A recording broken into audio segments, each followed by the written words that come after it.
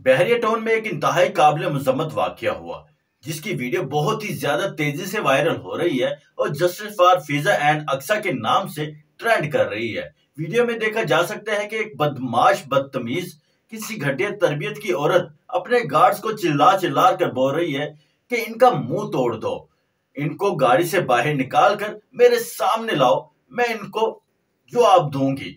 साथ में इंतहाई गलीज किस्म की गा, गालियाँ भी दे रही है जिसको सुनकर हद दर्जे का घटिया और बेशर्म मर्द भी शर्म आ जाए। इस दौरान लड़कियों पर बदतरीन तशद किया जाता है। इससे पहले बताऊँ कि ये वाकया है क्या? इस औरत को क्यों बहरिया टाउन के मलिक रियाज का रिश्तेदार बताया जा रहा है? और अब ये औरत कहाँ है? जल्दी से चैनल को सब्सक्राइब कर दे। अगर वीडियो पसंद आए तो लाइक और शेयर करना ना भूलें।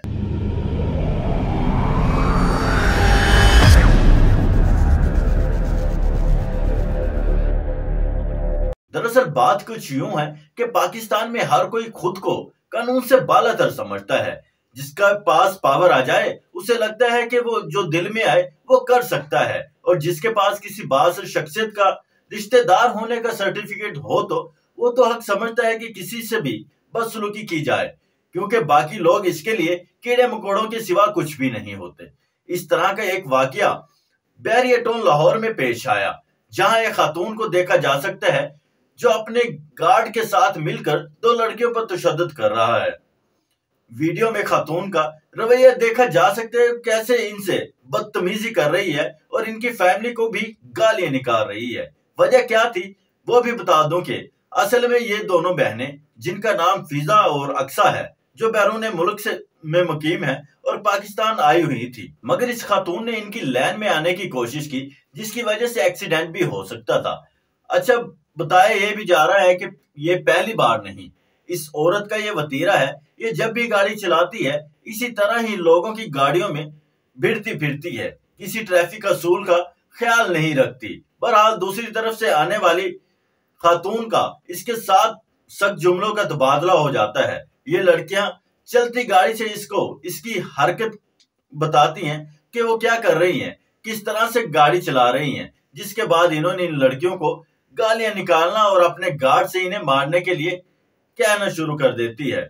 मेरी और मेरी बहन के साथ जो आदमी ने हमारे टच किया ग्रैब किया स्लैप किया पंच किया, निशाने मार दिए, हमारे बाजू पे, जिसम पे, ये कभी हम भूल ना पाएँगे। दी ओनली वे हम ये स्टॉप कर सकते हैं, अगर हम प्रोटेस्ट करेंगे, कोई we need to all come together and stop this Myra इफ्तार अगर ये स्टॉप नहीं होएगी she thinks Malik Riyaz is her I don't know what she thinks she is her sidekick and he will always support her वो always उसको support करेगा तो हम as women we need to stand up and do something against Myra Iftikhar और और ये मैं मैं पहले विक्टिम नहीं हूँ ठीक है तीन चार पाँच लड़कियाँ इसने ये सेम चीज़ उनके साथ ही की इसलिए मैंने सोचा आई शुड स्टैंड अप ताकि एक आवाज़ सुन पाए ये मुल्क if they want to help, then I think that the protest is the best way to go about this. अगर आप लोगों को प्रोटेस्ट करना है तो कोई बेरिया टाउन में होल होने चाहिए ताकि मलिक रियाज को हमारी आवाज़ें पहुँचे।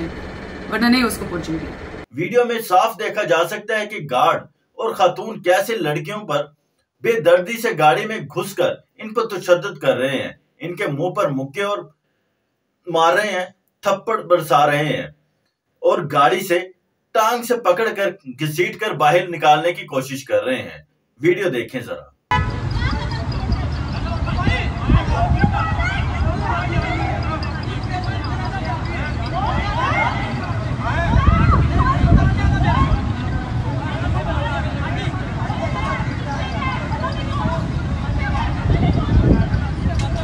बकौल इन लड़कियों की माँ के, वो कहती है कि मेरी बेटियों ने इनसे माफ़ी भी मांगी और कहा कि हमें जाने दे, मगर ये बेशरम गार्ड और जाहिल और साइको औरत इन पर तशद करते रहते हैं। और उसके बाद उसने अपने गार्ड्स को ऑर्डर दिया कि दूसरी तरफ़ जाओ मेरी छोटी बेटी बैठी हुई थी।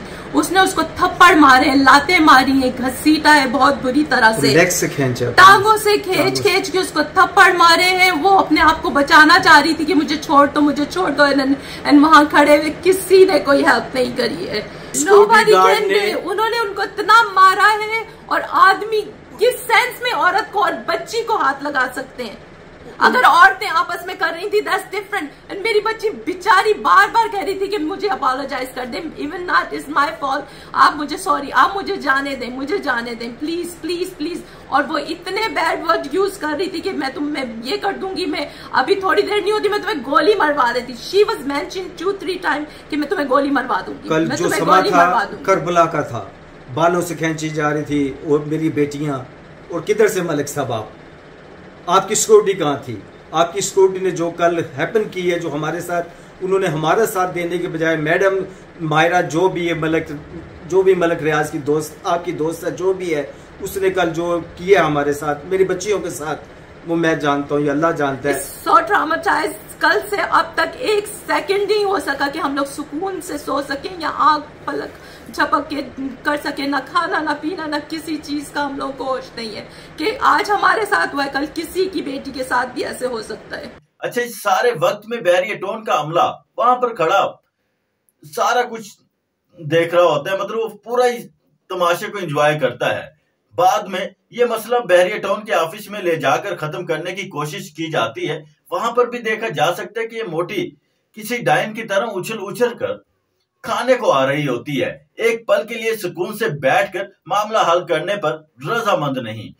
और खुद को बताती है कि वो मलिक रियाज की करीबी रिश्तेदार है। आप अंदाज़ा लगाए लगाएँगे कि भाई, अगर आप मलिक रियाज की करीबी रिश्तेदार है, इसका मतलब ये तो नहीं कि आप गुंडागर्दी पर उतर आए। बहरहाल, इस तरह के लोगों पर सख्त किस्म की कार्रवाई होनी चाहिए, ताकि मिसाल कायम हो सके कि मुल्क में किसी कानून और इंसाफ नाम की कोई चीज़ है।